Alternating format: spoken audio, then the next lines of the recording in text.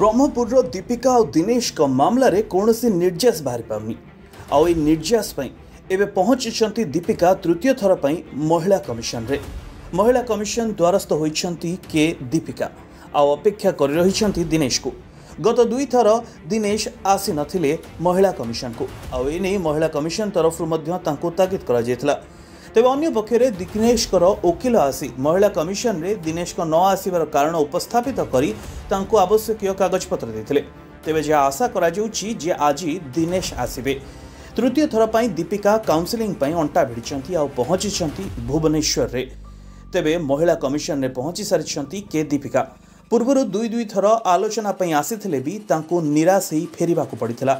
ନିରାଶା ନିରାଶା ଭିତରେ କଟୁଛି ତାଙ୍କ ଦିନ। ଆଉ ଏହା ଭିତରେ ଶାଶୁଘର ସାମ୍ନାରେ ପଞ୍ଚାନବେ ଦିନ ହେବ ବସି ରହିଛନ୍ତି ଆଉ ଧାରଣା ବି ଦେଇଛନ୍ତି। ତାଙ୍କ ପାଇଁ ସଂଘର୍ଷ କୌଣସି ଗୋଟିଏ ବଡ଼ ଜୀବନର ପରୀକ୍ଷାଠୁ କମ୍ ନୁହେଁ। ତେବେ ଦିନେଶ ଆସିନଥିବାରୁ ମହିଳା କମିଶନଙ୍କ ପାଖରେ ଗତ ଦୁଇ ଦୁଇ ଥର କିଛି ବି ଆଲୋଚନା ହୋଇପାରିନଥିଲା। ତେବେ ଗତ ଥର ପ୍ରମିଳା ଏବଂ ଦୀପିକା ଉଭୟ ଖୁସି ହୋଇଥିଲେ ଏବଂ କହିଥିଲେ ଯେ ମହିଳା କମିଶନ ଯେହେତୁ ଘଟଣା ବିଷୟରେ ଅଧିକ ବିସ୍ତୃତିରେ ଜାଣିନାହାନ୍ତି ତେଣୁ ସମୟ ଲାଗୁଛି। ତେବେ ଗତଥର ମହିଳା କମିଶନ ମଧ୍ୟ ଆଶ୍ୱସ୍ତି ଦେଇଥିଲେ ଯେ ଆଗାମୀ ଥର ଭଲରେ ଆଲୋଚନା ହେବ। ଆଉ ଯେଉଁ ନେଇ ପ୍ରମିଳା ମଧ୍ୟ କହିଥିଲେ ଯେ ଉଭୟ ପକ୍ଷ ଭିତରେ ଭଲ କଥାବାର୍ତ୍ତା ହୋଇଛି ଏବଂ ଗୋଟିଏ ଭଲ ଆଲୋଚନା ମଧ୍ୟ ହେବ। ଆଶା କରାଯାଉଛି ଯେ ଏସବୁର ଗୋଟିଏ ଭଲ ଫଳ ବି ବାହାରୁ ତେବେ ଦୀପିକା ଆସିଛନ୍ତି କିନ୍ତୁ ଅପେକ୍ଷା ରହିଛି ଦିନେଶକୁ।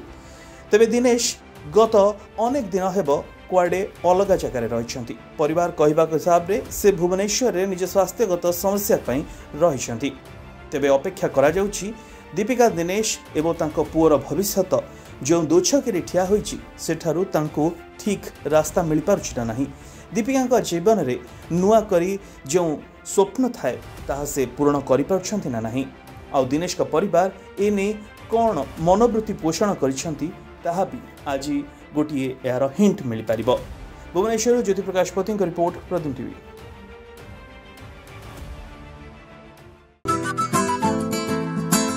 जैसे लोगों को विश्वास है कि मेरे रेस्टोरेंट में बढ़िया खाना मिलता है वैसे ही घर हो या रेस्टोरेंट मुझे विश्वास है मेरी बेटी के जबान के चटकारे क्योंकि इसे टेस्ट और स्वाद की बहुत पहचान है 100% नेचुरल इंग्रेडिएंट से बना मेरे जायके का सीक्रेट परिचय मसाला क्योंकि इसमें है प्रकृति का स्वाद। परिचय मसाला। जायका ऐसा माँ के हाथों जैसा।